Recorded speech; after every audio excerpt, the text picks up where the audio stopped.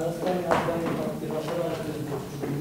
Հայկական գեղանկարչության գործերին Վաաֆա Սուլեյմանը ծանոթանում է մեծ հետաքրքրությամբ։ Ազգային պատկերասրահում 25000 աշխատանքներից ներկայացված է 1/10-ը միայն։ Առաջինը ծանոթանում է Հակոբ Հովնաթանյանի գործերին։ Բոլորն օրիգինալ են Լիբանանի առաջին տիկնոջ մոտ պարծենում է Փարավոն Միրզոյանը։ Նատալիա Թեոմյանի դիմանկարի մոտ հյուրերն ավելի երկար են կանգնում։ Մարտիրոս Սարյանը այն բնորոշում էր որպես հայկական ջոկոնդա, պատմում է Միրզոյանը։ Հովանես Այվազովսկու գեղանկարների հավաքածուն էլ աշխարհում երկրորդն է։ Առաջինը Այվազովսկու ծննդավայրում է Թեոդոսիայում։ Առաջին տիկինները Ընկերները ծանոթանում են նաև նկարելու տեխնիկային։ Այս երկու դիմանկարները նկարված է պաստելով։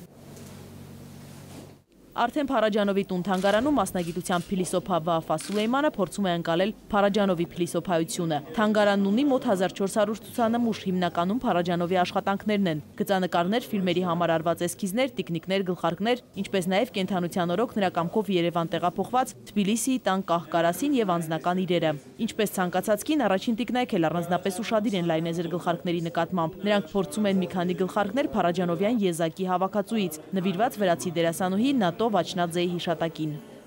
Իզաբելա Հովանիսյան, Նարեկ Եղիազարյան, ժամը լրատվական։